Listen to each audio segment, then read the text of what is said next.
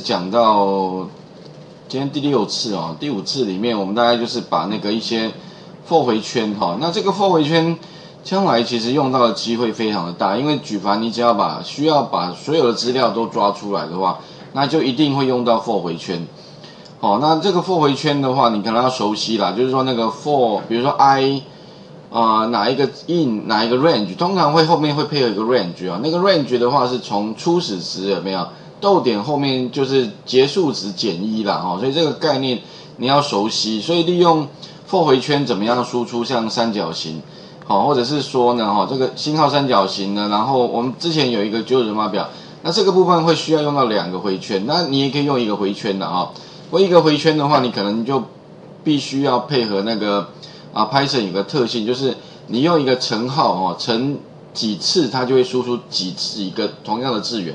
那这个是只有在 Python 里面可以这样做了，其他语言它没办法用乘上几个那个字元，它可以输出几次哈。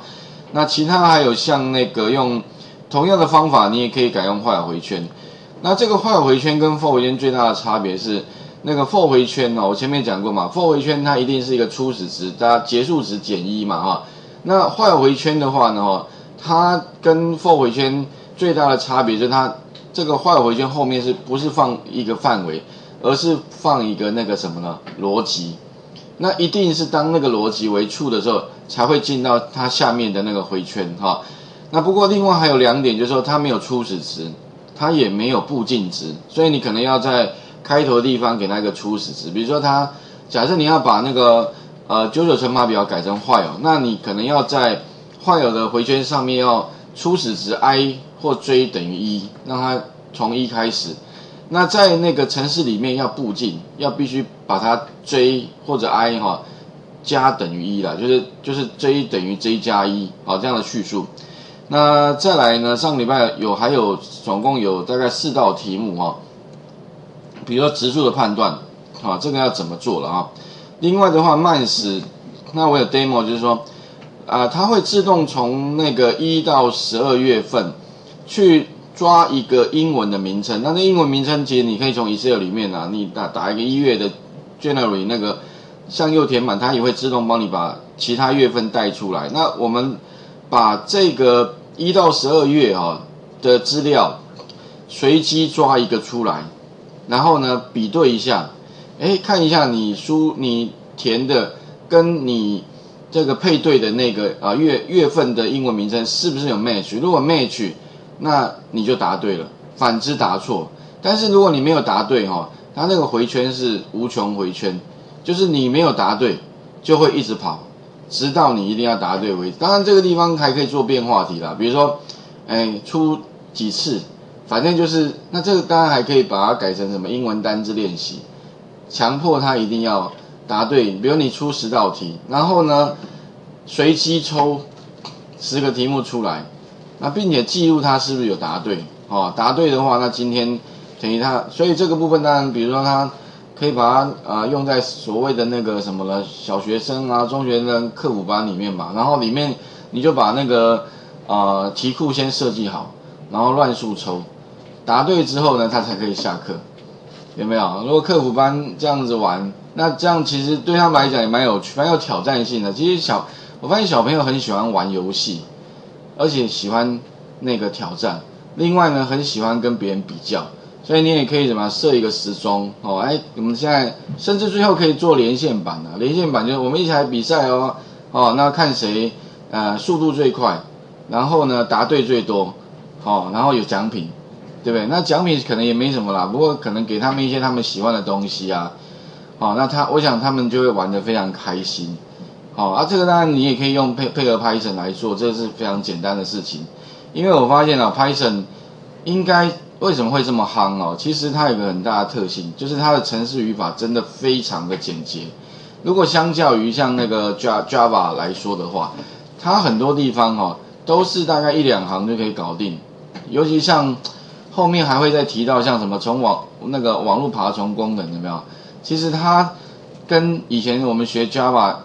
我也做过同样的东西，我发现哦，那个光某些部分哦，它的程式语法简洁哦，你就感觉到哇，这实在太好用了。有很多地方都不用写，它已经有相对的套件哦，你就可以很快的把资料抓下来，然后做你要处理，把你要的东西抓出来，相对的简洁很多了哈。啊，以这个例子，我想各位可以哈，把这个慢死 C I 这部分可以再想想看。那还有猜拳、剪刀石头布，那这个地方当然可能会牵涉到几个啦，就是你要，我是也是一个串列，这个串列里面就是一二三，就是剪刀石头布，那一样会需要有一个乱数的功能，这个乱数功能就是说，呃，电脑先出剪刀石头布，啊，你可以从一二三里面抓一个，再跟你出的，比如说你也出剪刀石头布比一下，那怎么比呢？反正你一定会有。呃，三种情况，一个是你赢的，比如你出剪刀，那你什么？你你剪刀的话，当然你就你赢的话，一定是他出布嘛。啊，如果你出石头，那一定他出剪刀嘛。哦，啊，你出布，他一定是出石头。对，这是你赢的情况了。啊，你肯定要把赢的情况、输的情况，还有平手的情况，哎，全部都判断出来啊。判断出来之后的话呢，那你把它显示，比如说你出什么，他出什么，OK 哈。所以这个地方的话呢，哈，哎，也可能必须用到前面我们所讲到的这相关的，还有掷骰子。那我这边掷骰子，总共呢有六颗骰子，那骰子一定是一到六了，所以我乱数也是这个地方还是用到乱数。然后呢，我随机抽了啊六个骰子，然后呢比大小，反正比呃十八以下就小，十八以上好那就大。那这个地方怎么做？我想这边后面有。四个题目哈，那请各位也许稍微再看一下。那我一样有把那个这个啊我们的画面哦放在云端上面了，所以你也可以稍微稍微看一下啦。那城市码部分的话，我那个 Mans CAI 这个也有有放，不过我是建议啊，如果你实在嗯刚开始还是最好可以想一想有哪些东西啊，也许你有些部分不太清楚，没关系，你可以参考一下。那待会我们再来看一下啊，这个呃植树，这个植树好像我们上个礼拜有有有讲到了啊，所以这一题给各位练习。那再来等一下，我们来看那个 Mans CI 这一题，里面可能比较重要啊，你们可能需要学会的啊，第一个就是你要怎么把十二个月份放在一个串列里面啊，串列其实就 list 了哈，这个 list 里面，那 list 其实就是可以放多个字串。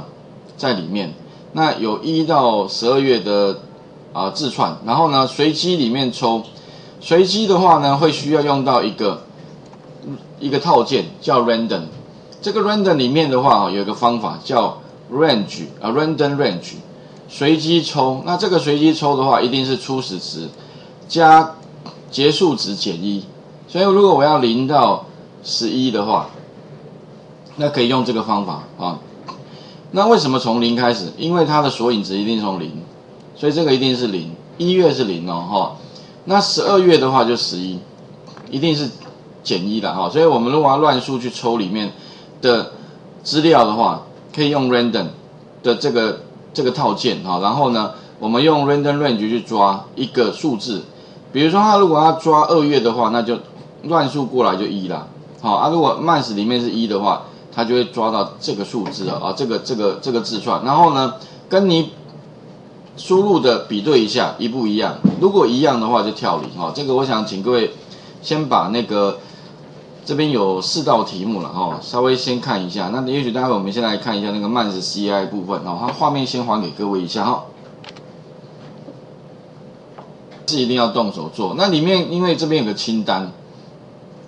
所以呢，哈，你可能如果要产生这个清单，其实我是从 Excel 里面，我上礼拜有 demo 过。其实你可以打一个 Generally，然后向右填满，然后我再把它怎么样补上这个双引号前后双引号，好，然后呢加上这些之后的话，哈，我就把它加在城市里面，我们来看好了哈。那里面的话呢，大概就一定要先产生一个清单。所以未来如果说你是一个清单的资料的话，那通常哈会。哦，把它放在一个所谓的串列。那串列呢，有一个特性就是前后一定要是中刮弧。反正你中刮弧开头跟结尾中间里面的东西就是一个串列。那这个所谓的串列就是说呢，一个变数里面呢，你可以放很多个很多个资料。哦，多重的资料哦。OK，那这个有点像那个呃其他语言的所谓的阵列啦。那其他语言的阵列哈，有个特性就是要放一样的资料，比如说你放啊字串就全部都要是字串，放数字整数的话全部都要放整数。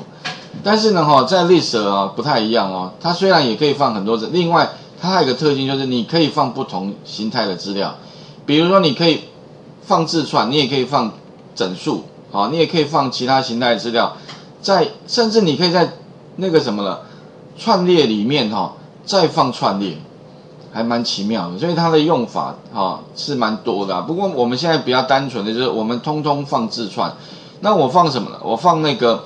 呃，一到十二月的英文名称，那记得哈，前后我习惯了，当然你可以用单引号或双引号，不过呢，我的习惯呢，全部都把它用双引号了，因为为什么？因为统一嘛，以前都用双引号，现在如果用单引号，感觉怪怪的。但是我看蛮多书里面哦，哎，都习惯用单引号，那我的习惯是全部把它干脆改改成一致好了，全部都用这个双引号就好了。不然的话，有单有双，有同学就奇怪，老师这边为什么双，这边又又是单啊？那到底是哪个正确？